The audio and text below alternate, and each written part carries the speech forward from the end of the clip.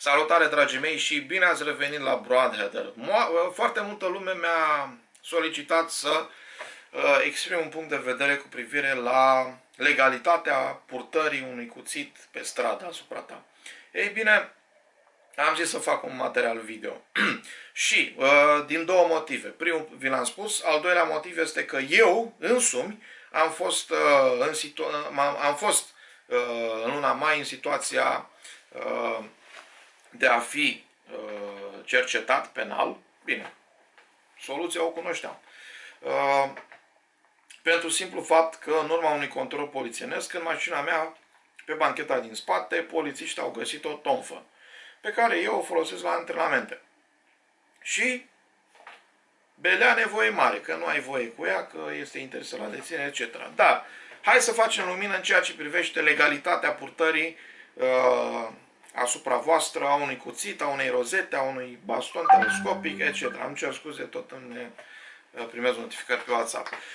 Uh, pe scurt, în 2014, legea 61 pe 1991 privind uh, ordinea publică a fost modificată destul de serios și infracțiunile din, din ea au fost trecute în codul penal, un nou cod penal, care a intrat în vigoare în februarie 2014 și legea 61 a rămas pur contravențional. De ce vă zic chestia asta? Pentru că foarte mulți dintre voi știți că de mult era legea 61 și unii dintre voi s-ar putea să mă contrazică, să-mi spună că mănânc rahat. Băi, că nu ai dreptate, că scrie în legea 61. Ei bine, nu știu cine mănâncă rahat, pentru că eu am legea în față și am codul penal în mână. Bun. Și în codul penal a fost uh, creat articolul 372 care vorbește despre portul sau folosirea fără drept de obiecte periculoase pe post de print screen. Bun. El spune în felul următor și vă rog să fiți atenți pentru că veți înțelege foarte ușor și foarte repede. Portul sau folosirea fără drept de obiecte periculoase. Fapta de a purta fără drept la adunări publice, manifestări cultural-sportive, în locuri special amenajate și autorizate pentru distracție ori agrement sau în locuri sau în mijloace de transport în comun. Deci din start legea vine și spune foarte clar unde nu ai voie să le porți. Cuțitul, pumnalul, boxul sau alte asemenea obiecte fabricate sau confecționate anume pentru tăiere, înțepare sau lovire. Da? Deci cuțit. Armenele tale care nu sunt supuse autorizării ori dispozitive pentru șocuri electrice. Da? De exemplu, o replică de airsoft. Este armă neletală, nesupusă autorizării. Sau arcul cu săgeți. Substanțe iritant lacrimogene sau cu efect paralizant. Da? Șprerurile iritant lacrimogene, a, la gen NATO. Se, se pedepsește cu închisoare de la 3 luni la un an sau cu amendă. Alineatul 2. Folosirea fără drept a acestora, da? la adunări publice, manifestări cultural-sportive, în locuri de distracție sau ori agrement sau în mijloace de transport în comun a obiectelor sau substanțelor prevăzute în alineatul 1, se pedepsește cu închisoare de la 6 luni la 2 ani sau cu amendă. Deci un pic mai grav. Iar alineatul 3, portul fără drept al obiectelor sau substanțelor prevăzute în alineatul 1 sediu autorităților publice, instituțiilor publice sau al altor persoane juridice de interes public, ori în spațiile rezervate desfășurării procesului electoral, se, se pedepsește cu închisoare de la 1 la 3 ani sau cu amendă. Deci asta e forma cea mai gravă.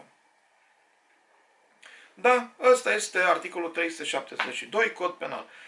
Cu alte cuvinte, poți purta pe, la tine, poți avea în buzunar, poți avea pe centură, poți avea în rucsac, da, un cuțit, un briceag, un fluturaș, un castet, o rozetă, un pumnal, nu știu, o bâtă, poți purta ori în, asupra ta pe stradă, ori în mașină, da, atâta timp să, cât nu te afli într-un mijloc de transport în comun, te afli în mașina ta. Le poți purta în mașină, le poți avea în torpedou, la vedere, uh, pe bancheta din spate, etc. Și uh, dacă citesc bine, fapta de a purta fără de la adunări publice, manifestări culturale sportive, în loc special amenajat, da, uh, nu aveți voie să le purtați sau să le folosiți în acele locații. E simplu. Sper că am lămurit-o.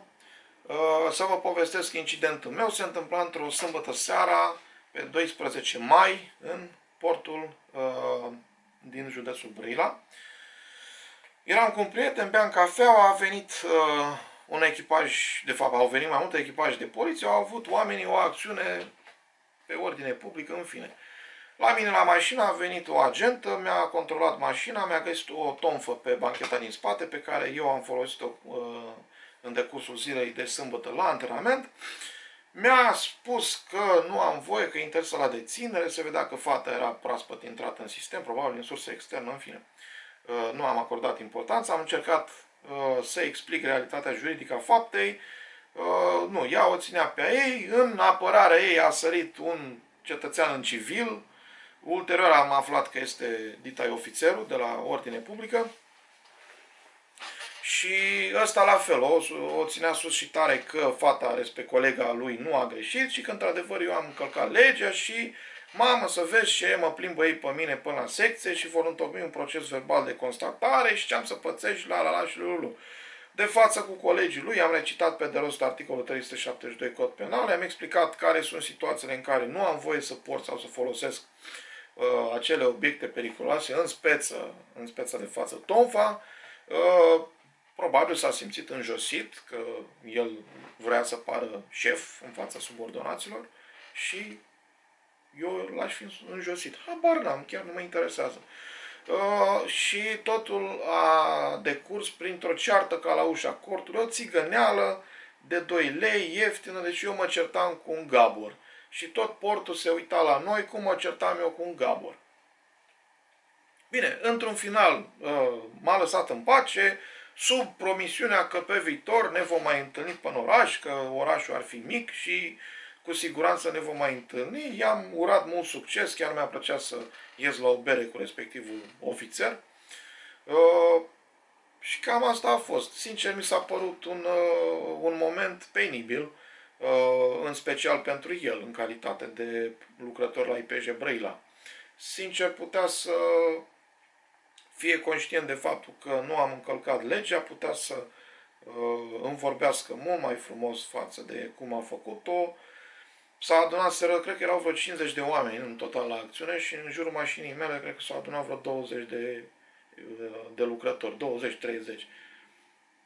Pentru ce? Pentru simplu fapt că eu încercam să explic realitatea juridică a unei situații de fapt, unui ofițer de la IPJ Brăila, pe când ăla o ținea sus și tare că eu am încălcat legea. Nu, nu am văzut rostul. Se putea încheia foarte ușor cu o strângere de mână, bravo, felicitări sau nu știu, în fine. Oamenii pur și simplu să-și vadă în continuare de treabă. Problema e că i-a întărătat și pe respective agenți, subofițeri, care erau de față și inclusiv unul dintre ei m-a admonestat că de ce țin mâinile în buzunar în fața unui polițist. I-am scos din buzunare ce aveam, într-un aveam cheile mașinii, în celălalt telefonul le-am introdus înapoi și uh, pur și simplu l-am întrebat pe respectivul uh, agent ce să faci dacă nu scot mâinile din buzunar. Ți-am arătat ce am în buzunar. Eu am vrut să fiu parolit, am vrut să fiu corect, pentru că, în mod normal, putea să spună, Doamne, scoate mâinile, că dacă ai ceva cu care putea să ne lovești. I-am demonstrat că nu am nimic periculos. Da, aveam cheile mașinii și cu telefon. Sigur, puteam să uh, îi atac cu cheile mașinii, da, să-i aplic o lovitură sau cu telefon. Dar eram, de, în primul rând, am depășit numeric și, în al doilea rând, eu nu sunt un tâmpit care sare la bătaie la polițiști, pentru că nu vreau să-mi risc uh, libertatea, aia să-mi facă dosar penal, să aibă ei legea de partea lor. Nu, prefer să am eu legea de partea mea. Și sunt de părere că, indiferent Uh, cu cine discut, mă pot înțelege omenește. Și merg pe premisa că persoanele cu care eu port diverse conversații sunt capabile și au raționament, sunt capabile să discearnă între un limbaj civilizat și argumentat și un limbaj bădărănesc emis de o gorilă.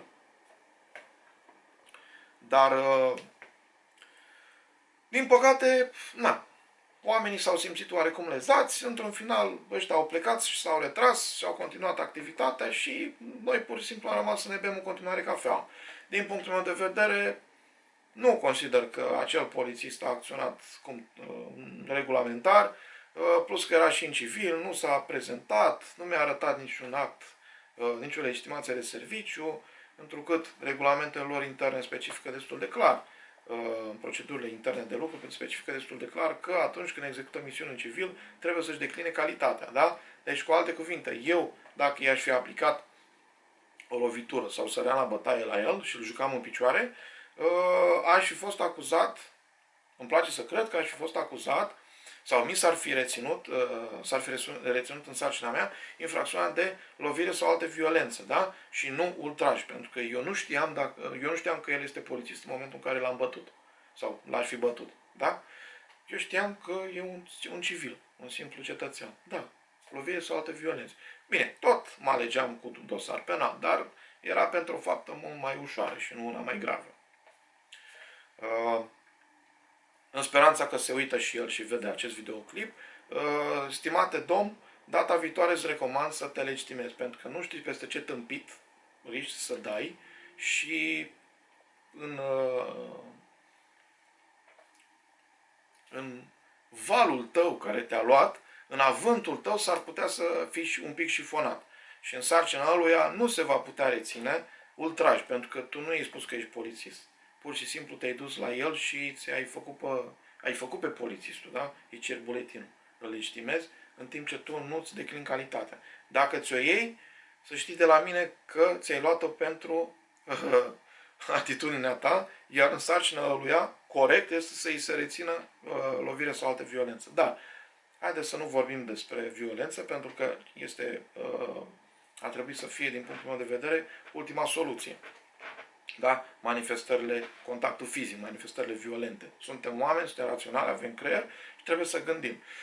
Ăsta a fost uh, incidentul în care am fost implicat eu. Uh, trag concluzia că foarte mulți cetățeni nu cunosc legea. Bine, e normal, pentru că unui sudor, unui sculer matrițer, altui medic, altui, nu știu, vânzător, altui șofer, n-au oamenii de unde să știe toate, uh, uh, toate dedesubturile legislației și toate prevederile din codul penal. De aceea sper că acest videoclip să vină și să lămurească acest aspect și sper să vină în ajutorul cât mai multor oameni.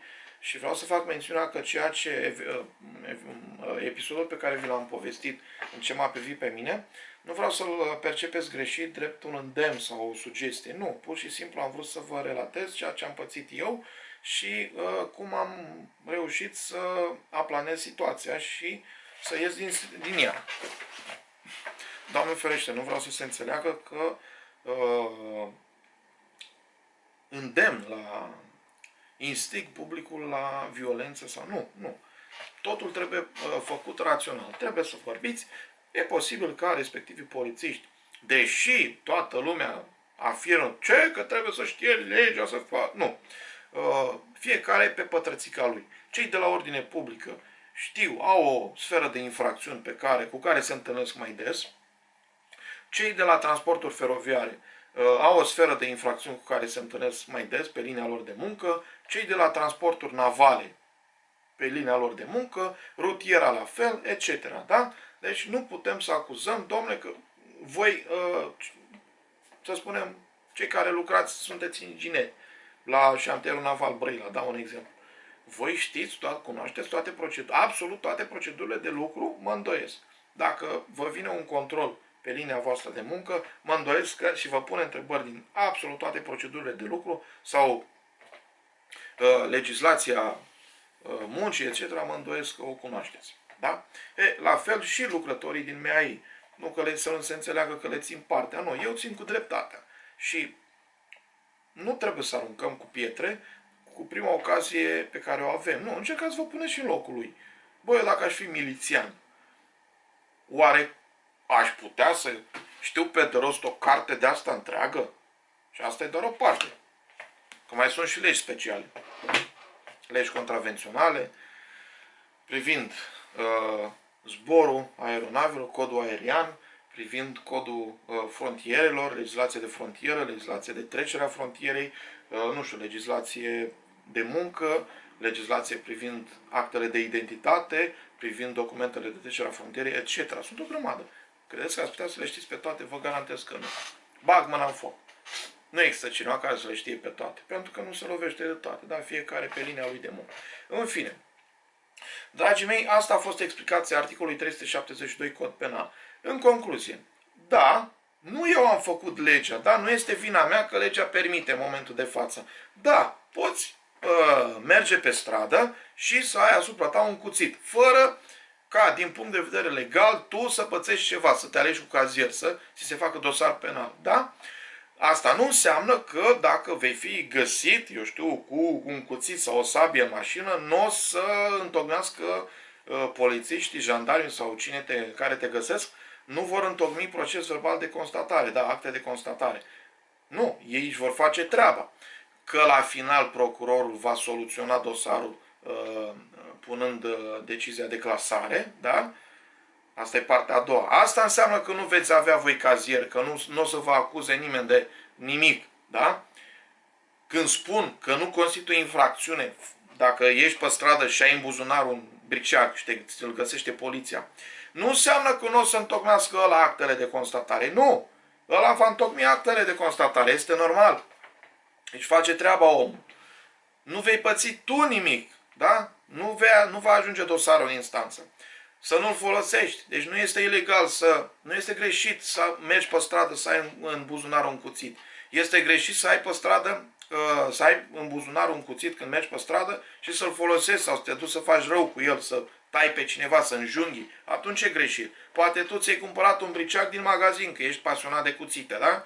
Și îl ai la tine și te oprește poliția, tu l-ai în rucsac, cu bonul de casă cu tot și băi, nu contează, ă, unul un pic mai plin de zel așa și face un exces. Și ă, gata, să reține lucrare penală. Ia, fratele meu, fă borși. Dar la final vei vedea că nu am greșit cu nimic. Eu sunt mare colecționar de arme, să spunem, da? Și am în casă 70.000 de arme albe. Și vreau să am 70.000 una. Și pe aia una mi-o găsește garda și îmi face actele de constatare. Nu înseamnă că eu am încălcat legea. Eu sunt pe stradă, mă duc pe jos de la magazin până acasă să o cumpăr, să o iau, da? Că îmi place să merg pe jos. Și mă găsește garda. Asta nu înseamnă că dacă face actele de constatare va ajunge dosarul în instanță. În niciun caz. Pentru că pe mine m-a găsit pe stradă, nu m-a găsit într-un Uh, la o adunare publică, la o manifestare cultural-sportivă, într-un mijloc transport în comun, uh, într-un spațiu amenajat și avizat pentru distracție sau agrement, în sediul unei instituții publice sau al unei autorități publice sau uh, în locurile amenajate pentru desfășurarea procesului, procesului electoral. Da? Nu, eram pe stradă. Mă încadrez într-una din astea șapte locuri? Nu. Pa, Bine, dragii mei, asta a fost explicația pentru legalitatea purtării cuțitului pe stradă. Sper că am fost destul de explicit. Dacă nu, și în continuare aveți întrebări, vă rog frumos să mi le adresați în comentarii mai jos. Broadheader aici, până data viitoare, respectați legea, citiți legea, fraților, uh, pentru că foarte multe comentarii sunt uh, și foarte multe întrebări pe care mi le, adresa, mi le adresează unii dintre voi sunt neinspirate, ca să folosesc un termen delicat să nu jignesc pe cineva. Și uh, răspunsul îl găsiți de cele mai multe ori în cartea asta. Vedeți cum se cheamă, da? Luați-o, citiți-o și încercați să înțelegeți. Brad Header aici, vă mulțumesc foarte mult pentru atenție. Fiți cu minte, nu cu minți. Doamne ajută, ceau!